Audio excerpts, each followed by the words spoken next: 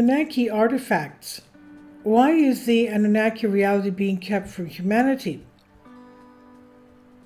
Have you ever wondered why schools teach so little, if anything, about the world's first advanced civilization? Are the Anunnaki artifacts being hidden?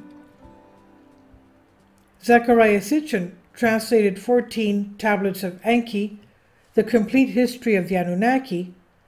Sitchin shocked the historical and archaeological world after he published his series of books on Anunnaki gods who arrived from planet Nibiru, planet X, around 445,000 years ago.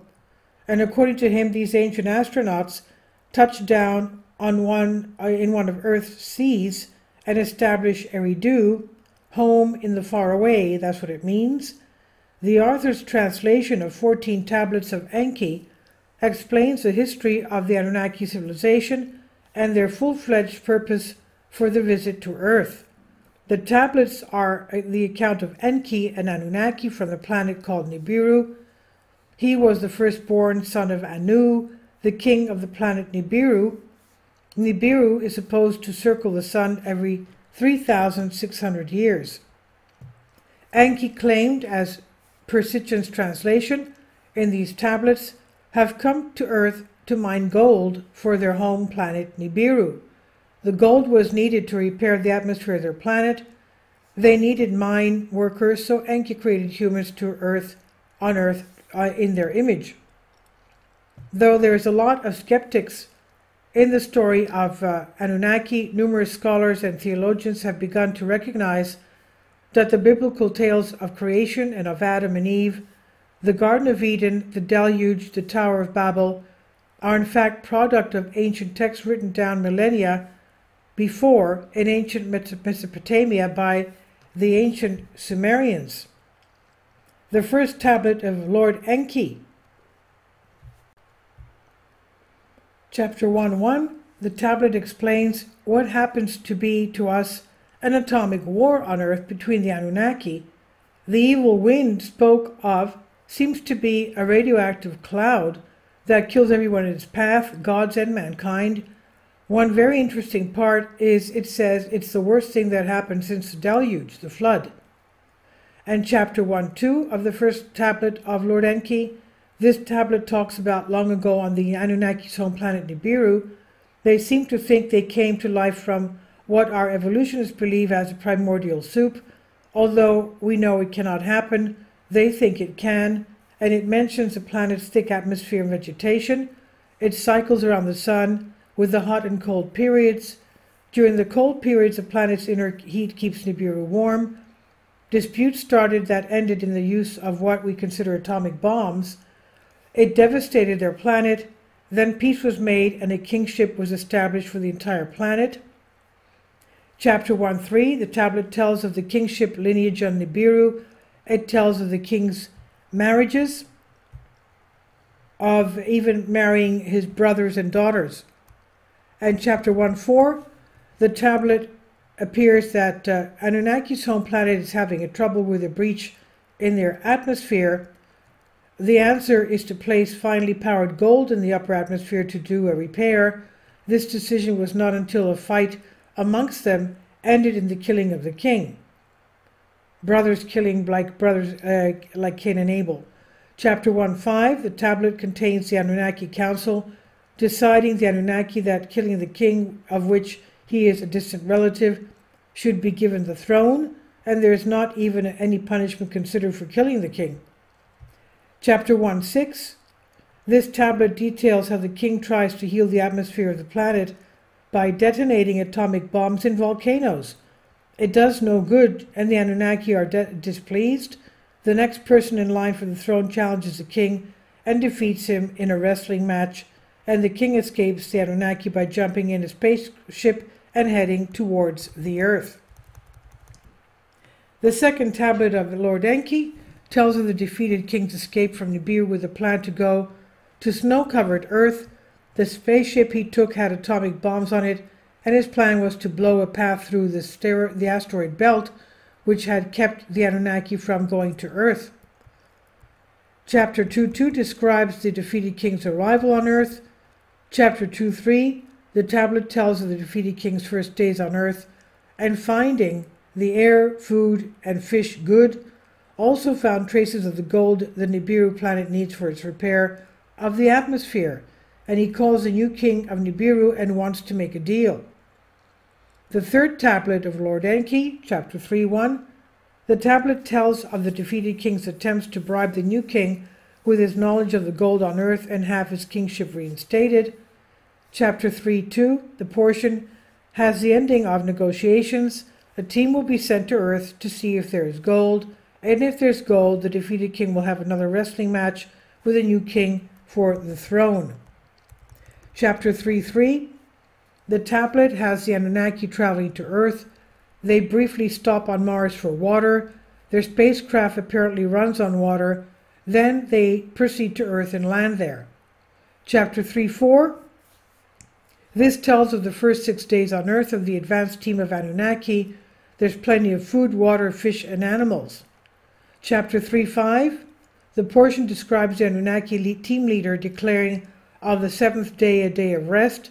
Metals were processed from the waters. Uh, the day, month, and year were given their names. Chapter 3 6. This portion of the tablet tells us about searching and finding gold, but not in great quantities. The remaining atomic bombs on the defeated King spacecraft were taken out of the spacecraft and hidden in a cave. They are not to be used again to make any a way through the asteroid belt. The Anunnaki team members leaves Earth to take the first basketfuls of gold to Nibiru. The fourth tablet, chapter 4.1, the tablet starts off with a spaceship with the first baskets of gold arriving. Word was received from Earth the large deposits of gold are underground. A high ranking Anunnaki placed in charge of the Earth operations, he departed Nibiru and arrived on Earth. Chapter 4 2 portion of the tablet has the new king on Nibiru coming to Earth to see for himself where the gold is underground. A plan is developed to see who of his sons will go back to Nibiru and which one will stay in command operations on Earth. This is indeed to be done because of rivalries between his two sons due to both being eligible for the next kingship. Chapter 4 3. This portion has the new king and his two sons drawing lots to see what jobs they will perform. When decisions are announced, the defeated king reinstates, restates his case for the second wrestling match for the throne. The wrestling match ends with the new king again beating the already once defeated king. After the end of the match, the defeated king bites off the male members of the new king and swallows it. He's tied and bound. While the new king is healing, the belly of the defeated king swells from the semen of the king's male member. The court convenes and is decided what to do with the defeated king, and the new king's son wants to do away with him. Chapter 4 4. This portion of the tablet has the new king deciding to place the defeated king which is expected to die from swallowing the new king's male member, on Mars in exile while he dies. The new king returns to Nibiru and tells of all that happened, of the plans to harvest the gold on Earth. The plans include making relay stations of Mars and possibly the moon. The Earth is again referenced as Eden. Chapter 4 5 This portion describes the building of specific Earth movement equipment spaceships and rocks, rockets on Nibiru for use on Earth, the Earth shorter cycles and atmosphere effects in the Anunnaki, a group of more Anunnaki, including some women that have healing skills, leave Nibiru for Earth. They stop on Mars to see if the defeated king has died and to start a relay station there, and the rest of the group continues to Earth. Chapter 5 1 The tablet starts with the latest group arriving on Earth the son that has been put in command of the support for gold harvesting greets his sister, which is one of the healers. They fly off to their king's son's living quarters, which he built on the mountain. They express love for one another and discuss their son and Nibiru wanting to come to Earth. This is brother and sister. They fly back to Eden, and he flies her around, telling her of his plans. More and more Anunnaki arrive on Earth from Nibiru. Chapter 5 2 there are now 300 Anunnaki on Mars and 600 on Earth. This portion of the tablet is more of the same ignorant decisions and immorality by some of the Anunnaki. Chapter 5 3 The uh, young female leader is brought before the seven judges and she tells them she's pregnant. They ask her if she will take the king's son as her husband, and she says she will. Chapter 5 4 The commander of Mars is, show, is shown the workings on earth. He secretly des- desires to be king, so he steals the tablets of destiny, destinies, knowing, unknowing their true scope and power, from Eden. He believes he cannot be defeated while he has the tablets of destinies, but he is defeated and sentenced to death. He died on the 25th star, Shar, 25th Shar. A Shar is believed to be 3,600 year Earth years, the length of Nibiru orbit around the Sun. 25 Shars would place his ex- execution at approximately 90,000 years after the Anunnaki came to Earth. So Zecharia Sitchin translated these 14 tablets. There's a lot of information there if you want to read. And uh, obviously, this is all Sumerian legend.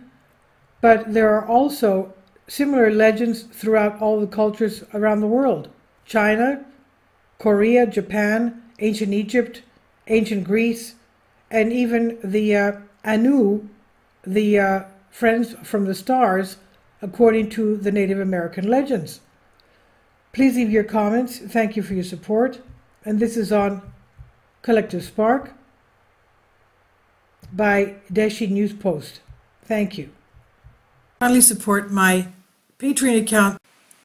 The daily posts are five videos daily, and they are totally different from what I have on my YouTube channel. Thank you so much for your support and that you find all my content so interesting. You'll find the Patreon account details in the description box below.